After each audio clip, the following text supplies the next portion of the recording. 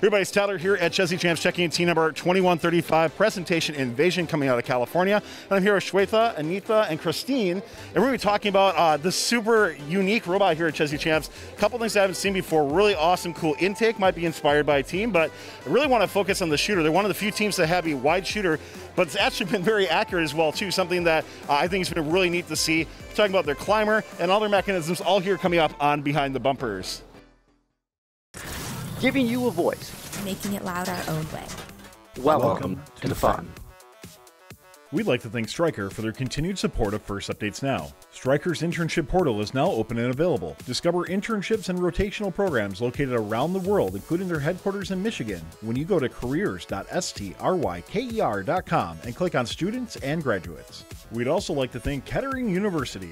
Kettering University is where robotic students come for their education. Over 30% of those who attend Kettering University were in high school robotics, and you can keep going with their BattleBots, VexU, esports, and First Mentorship programs. If you are a U.S. student grades 8 through 12, scan the QR code to stay up to date on info and events happening at Kettering and get a free Kettering t shirt when you sign up by December 12th, 2021.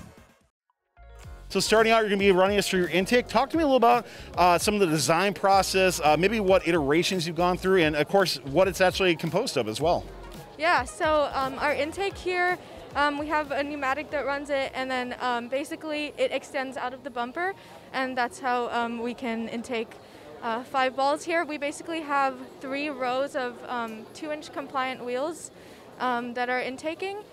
we have a few support structures here. Um, I think the main thing with the intake that we've gone through is just really securing it because sure. it's getting hit all the time. Um, so just making sure all of these connections, shaft collars, all good. Um, making sure that the bearings are in. Um, so yeah, that's like most of the process we've been through. We have a um, CIM motor and uh, yeah, that's the intake. Basically. Can we actually see the intake come down yeah, and see yeah. maybe like a power cell brought in? Would that be all right? Um, and as we're doing that, uh, can you talk to me a little about uh, some of this material that's on the inside where these wheels are as well? Is that just all 3D printed? Uh, the blue material? Yes, we actually do have 3D printed spacers here cool. on the edge here. Yeah, yeah, let's see the intake come down. We'll take a look on that.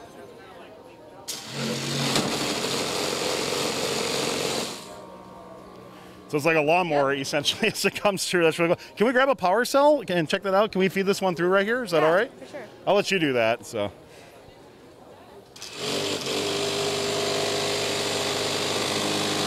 Actually, I will say there's one more thing.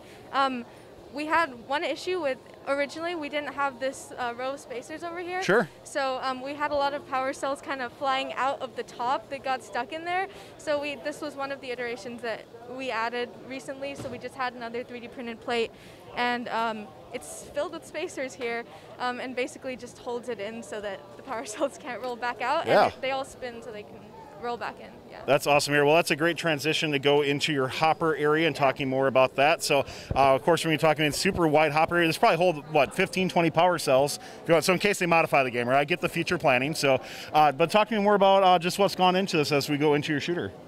So basically, this is our floor conveyor, and these spin, and these basically suck in the power cells from the intake and lead them into the vertical conveyor. And then this hopper is just to store. So usually, as you said, these can store a lot of yeah. this can store a lot of power cells, but usually we just store five.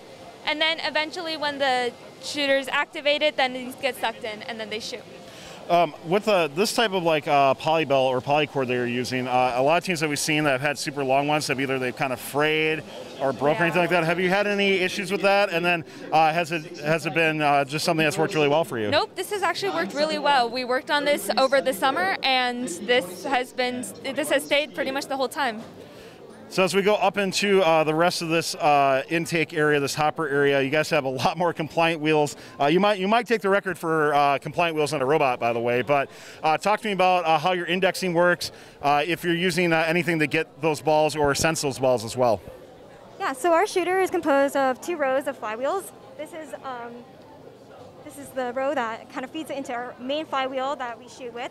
And if you notice, um, we in Cal Games, which we competed two weeks ago. Yeah. Um, we only implemented a flashlight for vision um, in order to able to be able to shoot accurately. Um, but since those two weeks, we've actually implemented our limelight, so that gives us accurate shooting, both when we're doing autonomous paths and um, when we're trying to shoot in teleop as well. Uh, what type of motors are you using to actually uh, power the shooter? And then, in particular, when you're looking at that double wide, uh, when you're thinking about the game itself, what made you want to choose uh, something where you could just like shoot multiple power cells potentially at once? So I think that's definitely something that um, makes us stand out against other robots. Yeah. Um, because we're able to be able to um, shoot multiple balls at once, um, and that's basically kind of the main aim of our robot um, to be able to, fa- to shoot really quickly and accurately um, with multiple power cells inside. So, do you know what type of uh, motor you're using to uh, shoot these actually? So we have um, we have two Falcons attached, one to the first row of um, the the shooter, and then um, another one for the top row as well. Sure. Well, let's continue on uh, on this robot. Uh, let's cover the climber first, and then we'll go into uh, uh anything else on this robot. Uh, so, climber-wise on it, looks like a multi-stage assembly. Tell me a bit more about what's going on. Yeah, basically it's just a two-stage telescoping climber. Um, yeah, it does have constant force springs. Um, yeah, it's pretty. It's been. It's worked very consistently for us. I think that's been probably our um, one of our best features of the robot. We've done a lot of double climbs, triple climbs. Very exciting. And yeah, it's it's it's two stages. Um, we, I think, one of the iterations that we had done ourselves um, was basically just to keep this rope on Sure. on this winch. Um, and basically, we had to. Originally, we had like a, a smaller plate here, and then we just designed one that kind of holds it stronger because in this in this climber we just we just wanted to every it's pretty simple but we just had to make sure that everything is all Have you experienced with this type of climber for other teams that I've seen with that? Uh, they actually are able to climb with just one arm, and potentially Yeah. have you had that happen in Oh, matches? yeah. yeah, we can climb with one arm. It's happened before too. Usually not on purpose, I'm guessing. Not on but purpose, all right, but, but we're we're very confident when it does happen. Yeah. because it, it's been consistent. Yeah. Well, presentation uh, Invasion, uh, once again coming out of California, 2135. Thanks a lot for taking the time to tell us about your robot here. Uh, as we're filming this, we're uh, getting ready for playoffs, so good luck uh, looking in the future of that. But can't wait to see where your team comes up in future seasons as well. Thanks a lot for taking the time. Thank you. Thanks to Kettering University for their support of this video.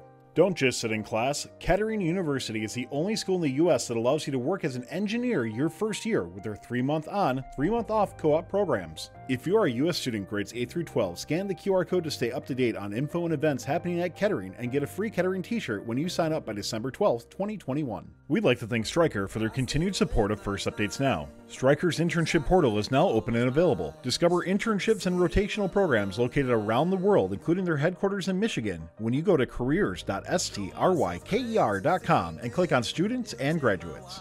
Don't forget to like, subscribe, and ring the bell to stay up to date on our new videos.